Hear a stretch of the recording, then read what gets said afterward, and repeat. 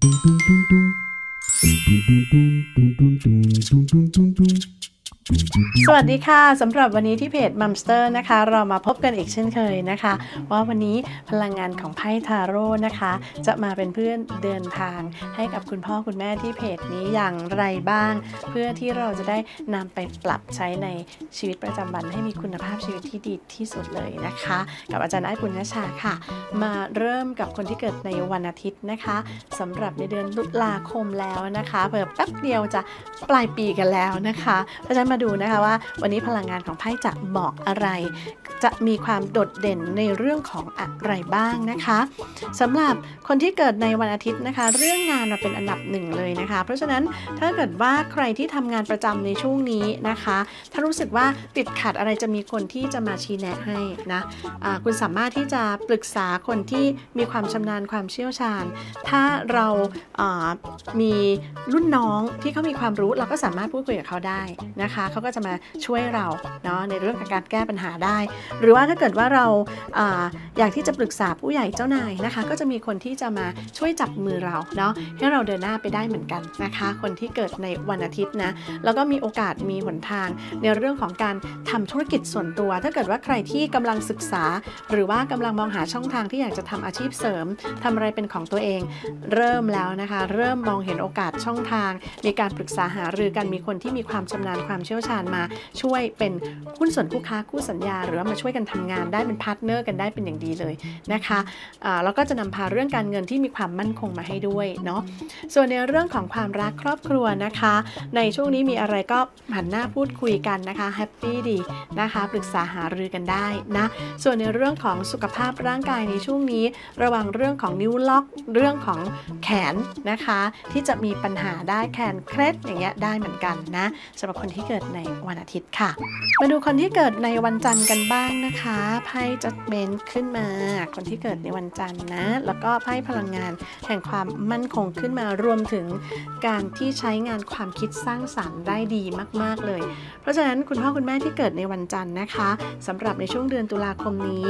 มีเกณฑ์ที่จะได้เริ่มอะไรใหม่ ๆ ค่อนข้างชัดเจนมากเลยนะคะ หยิบจับอะไรก็เป็นเงินเป็นทองแหมฟังอย่างนี้แล้วนะชื่นใจเนาะจัดเมนการตกลงการเซ็นสัญญานะคะนี่แหละค่ะเนาะเราก็ได้หยิบจับสิ่งใหม่ๆขึ้นมา The Magician ใช้พรสวรรค์ ใช้ความรู้ของเรานะคะ ในการที่จะทำโปรเจกต์อะไรก็ตาม ซึ่งเป็นการริเริ่มสิ่งใหม่ๆ ใครรองงานอยู่นะคะ ก็จะได้งานใหม่ ๆ ด้วย ถือว่าเป็นโอกาสที่ดีค่ะมีสิ่งใหม่ ๆ เข้ามาในชีวิตของเรา ที่เป็นการเริ่มต้นที่ดีมาก ๆเลยนะคะ รวมถึงความมั่นคงเกี่ยวกับเรื่องของการเงินด้วยนะสำหรับคนที่เกิดในวันจันทร์นะคะ เป็นเดือนที่ดีอีกเดือนหนึ่งเลยทีเดียวนะ ส่วนในเรื่องของความรักครอบครัวนะคะ ก็มีการทำร่วมกันกับในครอบครัว อย่างเช่น บางคนอาจจะทำเรื่องของงานในครอบครัวทำกงสีพวกนี้นะคะ ก็จะมีในเรื่องของการวางแผนสิ่งใหม่ ๆทำอะไรร่วมกันได้เดินหน้าเป็นอย่างดีเลยทีเดียวนะ เพราะฉะนั้นก็อยู่ในเกณฑ์ที่ดีเช่นเดียวกันนะคะ ส่วนในเรื่องของสุขภาพร่างกายก็ปวดกระบอกตา เพราะฉะนั้นสายตาต้องระวังนิดนึง มีเวลาจะต้องแบบเปลี่ยนแว่นแล้วนะคะ มองเห็นอะไรบางทีเราเพ่งอะไรเยอะๆเนี่ยจะทำให้ปวดหัวปวดกระบอกตาได้นะสำหรับคนที่เกิดในวันจันทร์นะคะ มาดูคนที่เกิดในวันอังคารกันบ้างนะคะ ได้พลังงานอะไรมาบ้าง คนที่เกิดในวันอังคารช่วงเดือนนี้นะคะ ก็เหนื่อยนิดนึงนะคะ เพราะว่างานค่อนข้างที่จะยุ่งต้องวางแผนดีๆเนาะพอเช้าขึ้นมาก็ต้องนี่แหละค่ะรีบเร่งเลยแต่งเนื้อแต่งตัวนะคะเพราะฉะนั้นก็คือทำอย่างอื่นไปคิดแผนงานไปนะคะ มีจะเรื่องงานเข้ามาเลยนะคะ แล้วก็นี่แหละค่ะถามว่าเราจะได้รับชัยชนะได้รับถ้วยไหมก็ได้รับนะเออแต่ว่ามันก็ค่อนข้างยุ่งยากพอสมควรนะคะเพราะว่าหนึ่งในเรื่องของงานในเรื่องของการปรับเปลี่ยนแผนงานต้องรวบรวมต้องจัดสรรนะคะ ทั้งเวลาทั้งการบริหารจัดการเรื่องงาน หรือวิธีการทำงาน ระวังในเรื่องของความขัดแย้ง กับคนรอบข้างกับเพื่อนร่วมงาน หรือว่าคนที่เป็นผู้ใหญ่กว่าในเรื่องของความคิดเห็นไม่ตรงกันนะคะ เพราะฉะนั้นก็ต้องระมัดระวังเรื่องนี้ด้วยเหมือนกันนะ ในเรื่องของการเงินนะคะ ดูเรื่องของเอกสารสัญญาให้รอบคอบนะคะ ระวังที่จะมีปัญหาได้นะ ทั้งตัวคุณเองจะเซ็นสัญญาอะไรก็ตามนะคะ หรือทำเอกสารอะไรก็ตามเกี่ยวกับเรื่องของการเงินต้องดูให้ละเอียดรอบคอบเลย หรือว่าเราจะต้องไปเซ็นสัญญาอะไรกับลูกค้าก็ต้องดูให้ดีๆนะคะว่าจะนำความยุ่งยากมาให้เราหรือเปล่า หรือว่าจะผิดพลาดอะไรไหมต้องรอบคอบให้มาก ๆเลยนะคะนะส่วนในเรื่องของความรักครอบครัวนะคะ ก็ไม่มีอะไรมากช่วงนี้ก็คือจะยุ่งเรื่องงานซะส่วนใหญ่นะคะ แต่ก็ยังปรึกษาหารือกันได้มันเป็นเรื่องจุกจิกปกติธรรมดานะคะ ก็ไม่ไม่ได้มีปัญหาอะไรน่าหนักใจ ส่วนเรื่องของสุขภาพร่างกายนะคะ ระวังเรื่องของเครียดลงกระเพาะได้นะ หรือว่าเรายุ่งเรื่องงานแล้วก็ทานอาหารไม่ตรงเวลา ใครที่เป็นโรคกระเพาะอยู่แล้วเดี๋ยวจะกลับมาถามหาได้นะ มาดูคนที่เกิดในวันพุธกันบ้างนะคะ คนที่เกิดในวันพุธนะในเรื่องของการเดินทางการติดต่อประสานงาน ช่วงนี้จะประชุมเยอะหน่อยนะ คนที่เกิดในวันพุธนะคะ คิดอยากจะริเริ่มทำนู่นทำนี่เยอะแยะไปหมดเลยนะคะ เริ่มเดินหน้าได้ไหมเริ่มเดินหน้าได้นะ เดือนนี้จากมืดไปหาสว่างและอะไรที่มันอึมครึมมา ตั้งนานแล้วเนี่ยเริ่มที่จะเดินทางแล้วอาจจะต้องใช้เวลานิดนึง แล้วก็คุณเองก็จะต้องเป็นคนที่วางแผนงาน หรือว่าประชุมงานค่อนข้างเยอะ แต่กราฟขึ้นไหมกราฟขึ้นนะแสดงว่าถ้าทำธุรกิจกิจการงานก็คือดีขึ้นนะคะ มีการาประชุมกันบ่อยๆ brainstorm กันบ่อยๆนะคะ แล้วก็เดินหน้าไปตามสเต็ปตามแผนงานที่วางเอาไว้จะดีมากๆเลยนะคะ รวมถึงเรื่องการเงินถ้าเป็นกราฟขึ้นเนี่ยแสดงว่าเข้ามาพร้อมๆ กันนะงานกับเงินนะคะ ส่วนในเรื่องของความรักครอบครัวได้หนึ่งถ้วยขึ้นมา ก็ยังเป็นความรักครอบครัวที่ดี อาจจะมีเรื่องของการเดินทางไปพักผ่อนร่วมกันแต่ช่วงนี้เนี่ยอาจจะทั้งงานด้วยได้ไปทำงานด้วยได้เที่ยวด้วย ได้พักผ่อนด้วยนะคะควบคู่กันไปนะนะคะ ก็ถือว่าเป็นความรักครอบครัวที่ดี ส่วนในเรื่องของสุขภาพร่างกายต้องดื่มน้ำเยอะๆนะคะ ใครที่ไม่ค่อยได้ดื่มน้ำระวัง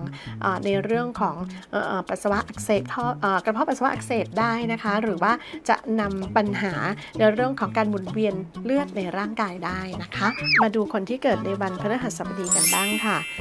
ได้ไพ่อะไรขึ้นมาเอ่ย The Empress ขึ้นมาดีเลยนะคะ The Lover ขึ้นมานะ แล้วก็ได้ไพ่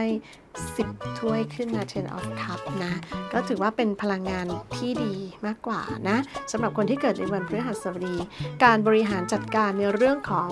การงานนะคะเรื่องของการเงินด้วยนะอยู่ในเกณฑ์ที่ดีได้ทำในสิ่งที่ตัวเองชอบด้วยนะ คนที่เกิดในวันพฤหัสบดีหนึ่งใครที่ทำเกี่ยวกับเรื่องของความสวยความงามคุณพ่อคุณแม่ท่านใดทำเกี่ยวกับจิวเวลรี่นะคะเครื่องประดับนะคะ รวมถึงอาหารการกินนะคะอ่าขนมก็ตามร้านขนมร้านกาแฟ อันนี้ดีเลยนะ เดือนนี้เห็นอะไรเป็นกอบเป็นกำมากขึ้นนะคะะลูกค้าให้การตอบรับดี มีความราบรื่น ใครที่ทำงานประจำอยู่นะคะ ก็อาจจะมีเกณฑ์ที่จะต้องเลือกหรือตัดสินใจนะคะ อาจจะเอ๊ะเปลี่ยนแปลงแผนกดีไหมนะคะ หรือจะไปทางไหนดี แต่ก็ภาวะในใจ 1 เหตุผลก็จริงนะคะ แต่ว่าให้ฟังเสียงในใจของตัวเองว่าอะไรถ้าเปลี่ยนแปลงไปแล้ว เป็นเราที่สุดใช่เราที่สุดนะคะนะทั้งคุณพ่อคุณแม่เลยนะ ส่วนความรักครอบครัวก็อบอุ่นดีค่ะ เป็นไพ่ความรักที่ดีมาก ๆนะคะอะดูแลโฟกัสมาที่คุณลูกเลย ในช่วงนี้จะเรียนอะไรจะทำอะไรก็ค่อนข้างที่จะโฟกัสมาที่ครอบครัวเยอะเลยนะ โดยเฉพาะบทบาทของคุณแม่ค่อนข้างโดดเด่นมาเลยทีเดียวนะคะ ในเรื่องของอุบัติเหตุเล็กๆน้อยๆหกล้ม หรือเป็นแผลที่ขาที่เท้าต้องระวังนิดนึงนะคะสำหรับคนที่เกิดในวันพฤหัสบดีค่ะ มาดูคนที่เกิดในวันศุกร์กันบ้างนะคะเนี่ยต้องจัดสรรดีๆเลยนะคะ การวางแผนการติดต่อประสานงาน งานค่อนข้างยุ่งพอสมควรนะคนที่เกิดในวันศุกร์นะคะ ใครที่ทำงานประจำนะคะ การนัดหมายการเจรจา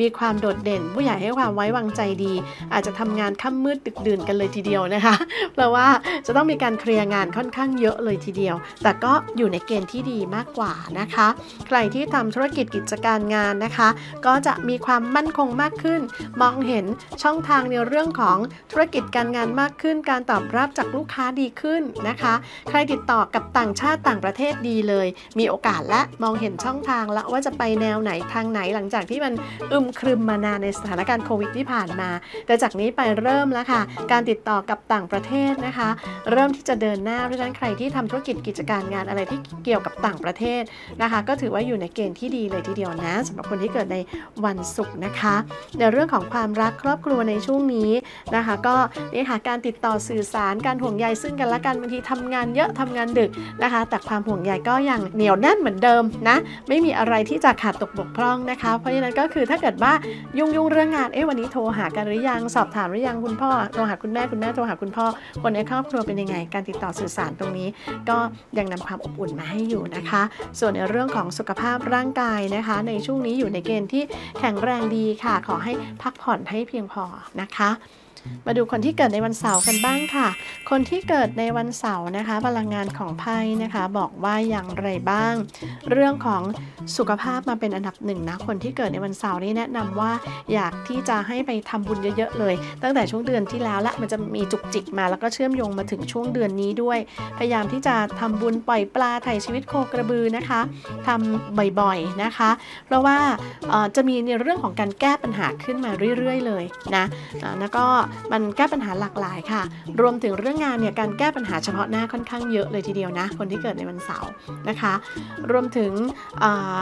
บางคนที่จะขายไม่ว่าจะเป็นขายรถขายบ้านนะหรือทำอาชีพเกี่ยวกับเรื่องของเซลล์ขายรถขายบ้านเหมือนกัน แต่ถ้าเกิดว่าเรื่องของการขายรถขายบ้านใครเป็นเซลล์ทางนี้ ถือว่าอยู่ในเกณฑ์ที่ดีนะมีคนจองมียอดจองเข้ามานะคะ ก็อาจจะรับไม่หวัดไม่ไหวเลยนะ แต่ถ้าเกิดว่าใครที่ทำงานประจำอย่างอื่น การแก้ปัญหาเฉพาะหน้าค่อนข้างเยอะ ความรับผิดชอบค่อนข้างเยอะ ใครที่คิดจะเปลี่ยนแปลงงานต้องคิดให้ดีๆนะคะ เรื่องของการเงินนะคะ ก็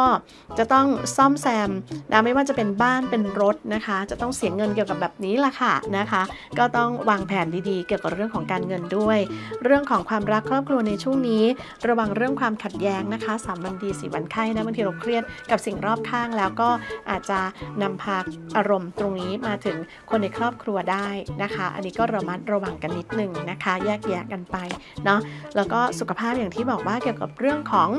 อ,อุบัติเหตุเล็กๆน้อยๆด้วยนะคะ ต้องระวังนิดนึงหรือว่าเรื่องของไข้หวัดใหญ่นะคะ อันนี้ต้องระวังสุขภาพเป็นสิ่งสำคัญ แล้วก็ใครที่ยืดเยื้อผลัดคุณหมอมานานแล้วเรื่องการตรวจสุขภาพแนะนำให้ไปตรวจสุขภาพร่างกายนะคะ แล้วก็ปฏิบัติตัวตามที่คุณหมอบอกจะดีที่สุดเลยค่ะ อันนั้นก็เป็นพลังงานจากไพ่ที่บอกมานะคะ ว่าใน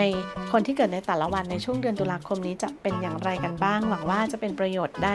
บ้างไม่มากก็น้อยเพื่อที่จะนำไปปรับใช้ให้มีคุณภาพที่ดีขึ้นนะคะ แล้วก็ใช้ชีวิตอย่างมีคุณภาพชีวิตที่ดีที่สุดนะคะ กับอาจารย์ไอ้ปุณชาติที่เพจมัมสเตอร์ค่ะ ถ้าจะพูดคุยกันส่วนตัวก็มาพบกันได้ที่ตลาดบางมาเช่นะคะ แล้วเจอกันค่ะ